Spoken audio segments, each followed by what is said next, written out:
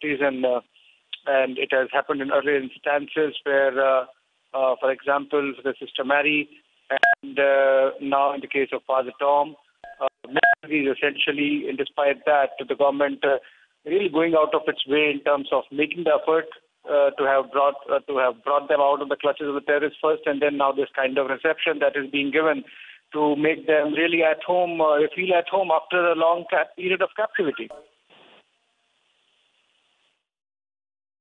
Absolutely. And also remember, uh, Abhishek, this is coming after Father Tom Uzhunnalil was held captive by ISIS for over a year. He's finally reached India. The Catholic priest from Kerala was abducted in 2016 and he was an employee of the Vatican. After much negotiations and the help of the Oman government and the Vatican intervention, the Indian government managed to rescue him. Just take us through the kind of steps the Indian government took to bring back one of our own.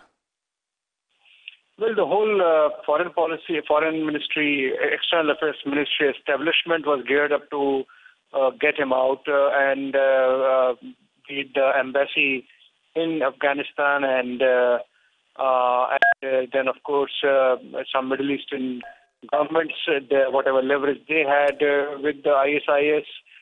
so all that effort went into this. Uh, operation which finally got father back uh, uh, and uh, essentially, between that effort and the reception, what we're seeing is the intent of the government to really value each and every citizen of India uh, when they are on foreign soil right. and uh, take care of their security. All right, let's first now listen into a reaction, Abhishek, that's coming in from Father Tom himself.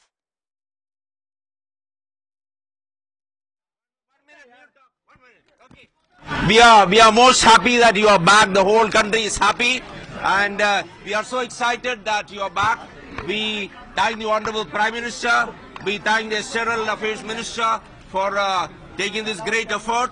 We thank the the ruler, the Sultan of Oman, and we thank the Vatican. We, we thank the Vatican for the great effort they have made. So, with all these great efforts, Father is back, and we are very, very happy that Father is back.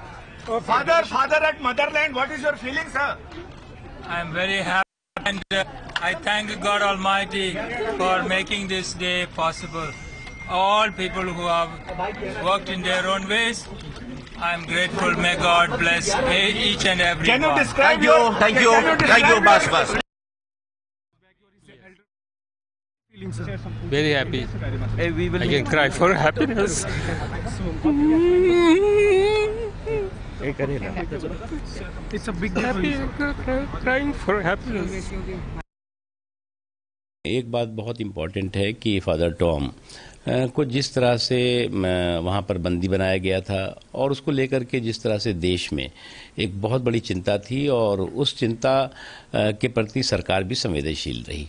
और हमारे external affair ministry ने, हमारे external affair minister Sushma Swaraj ji ने बहुत खामोशी के साथ, बहुत चुपचाप तरीके से, संवेदनशीलता के साथ उनकी रिहाई के लिए मजबूती से काम किया। और आज हमें इस बात की खुशी है कि वो सुरक्षित भारत वापस आए हैं। इससे एक बात बहुत साफ़ है कि हमारी जो सरकार है, वो हम अपने नागरिकों के सुरक्षा के प्रति ईमानदारी के साथ प्रतिबद्ध हैं।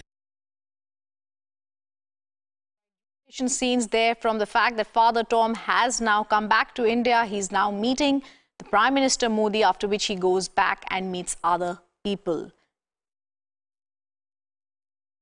And Coming up after a short break, we move on to the other top stories that we are tracking.